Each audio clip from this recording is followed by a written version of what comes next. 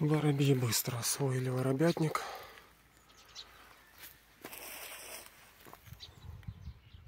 Внутри уже можно заметить натасканную траву.